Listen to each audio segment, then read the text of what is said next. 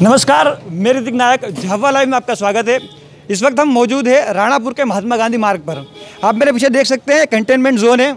लगभग पिछले महीने की दो तारीख से कंटेनमेंट जोन बनाया गया था और आज एक महीने से अधिक बीत चुका है। उसके बाद भी ये एरिया कंटेनमेंट जोन बना हुआ है।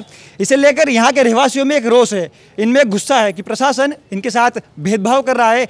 दूसरे इलाकों में जहाँ पर मरीज़ निकले वहाँ पर कुछ घरों को ही कंटेनमेंट जोन बना गया है। लेकिन इस जगह को लगातार एक महीने से कंटेनमेंट जोन बनाया हुआ है। इसको लेकर सभी में रोष है। हम लोग इनसे बात करेंगे और इनकी मांग के बारे में जानेंगे। हमारे साथ कुछ व्यापारी मौजूद हैं उनसे बात करेंगे कि क्या समस्या है। क्या समस्या है आपकी? सर अभी आ, ए, एक महीना लगभग हो गया है। एक महीना लगभग हो गया तकरीबन। आर्थिक स्थिति बिगड़ रही है और जो आखिरी पेशेंट है वो गाहरी मोहल्ले से है। और वो भी अच्छा होके आ गया है। उसके बाद भी पूरी गली सील करके रखी है। एम जी रोड को। और लगातार इसी गली को टारगेट किया जा रहा है। कारण क्या है कि यहाँ पर क्या करवाना क्या चाहती है सरकार यहाँ पर? अच्छा आपसे भी एक प्रश्न पूछना चाहूँगा आप थोड़ा सा नज़दीक आ जाइए। आपने जो है जिम्मेदार लोगों से बात की होगी आपने सांसद से तहसीलदार कलेक्टर साहब से बात की होगी उनका क्या कहना है इस मसले पे? सांसद महोदय से बात करी थी सांसद महोदय का कहना है कि भाई मैं कलेक्टर से बात करता हूँ उन लोगों ने कलेक्टर से फ़ोन से बात भी की और खुलवाने के लिए उन्होंने आश्वासन भी दिया पर आज दिनांक तक आज अभी तक खुला नहीं। फिर उसके बाद हम कलेक्टर साहब से मिलने गए। कलेक्टर साहब का कहना है कि आप शपथ पत्र पे हमको लिख कर दे दीजिए कि मरीज़ नहीं आएँगे या आएँगे। अब ये कोई बात होती है। आज हम एक महीने, दो दिन से परेशान हो रहे हैं। पूरा एमजी रोड परेशान है। आज हम किराए के मकान, दुकान लेके बैठे हुए हैं। आज पंद्रह हज़ार रुपये महीना हमको किराया लग रहा है। प्लस हमारा ये खाने का जो खर्चा है वो कहाँ से लाने का? पूरा एमजी रोड परेशान है। और इसी मोहल्ले को टारगेट बना रखा प्रशासन ने। आखिर प्रशासन क्या चाहती है? इस मोहल्ले को क्या चाहती है? हमारा यही पूरा विरोध है और निवेदन भी है सबका कि इस मोहल्ले का क्या चाहती है और क्या निर्णय ले रही है वो आज हमें आज हमें ये मोहल्ला खुलना चाहिए। अगर नहीं खोलेगी प्रशासन तो हम ये उखाड़ के जनता मंडल फेंक देंगे और हम हमारी हमारी दुकानें हम हमारी चालू करेंगे। प्रशासन को जो समझ में आए वो करे हमारा।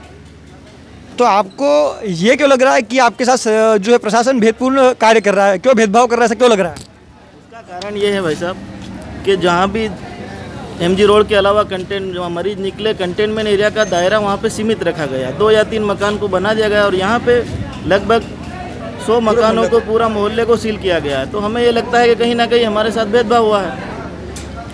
अच्छा इनका कहना है कि इनके साथ भेदभाव किया जा रहा है इनके पूरे पूरे एरिया को सील किया जा रहा है और इनकी कोई सुनवाई भी नहीं हो रही है। अच्छा कुछ और लोग हैं उनसे बात करेंगे उनके उनकी राय जानेंगे इस बारे में। अ, आपका क्या नाम है? हाँ एहसान खां एहसान भाई, क्या परेशानी आ रही है?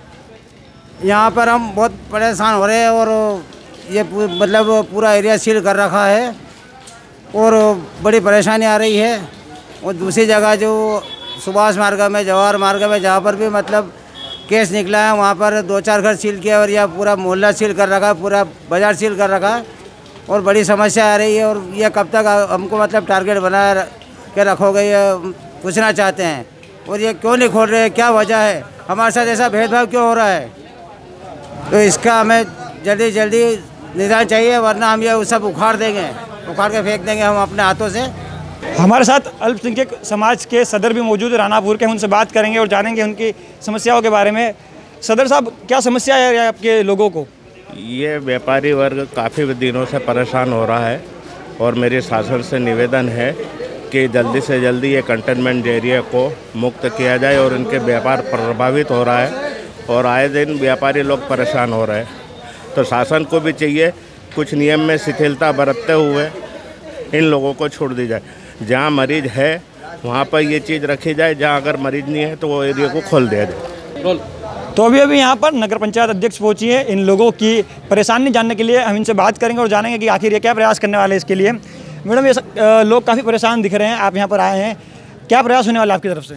नहीं, हमारी तरफ़ से पूरे प्रयास रहेंगे। हमारी जनता, हमारी नगर की जनता परेशान ना हो। और हमारा पहला प्रयास यह रहेगा कि हम हम जल्दी से जल्दी कलेक्टर महोदय से इस बात को लेकर अवगत कराएँ।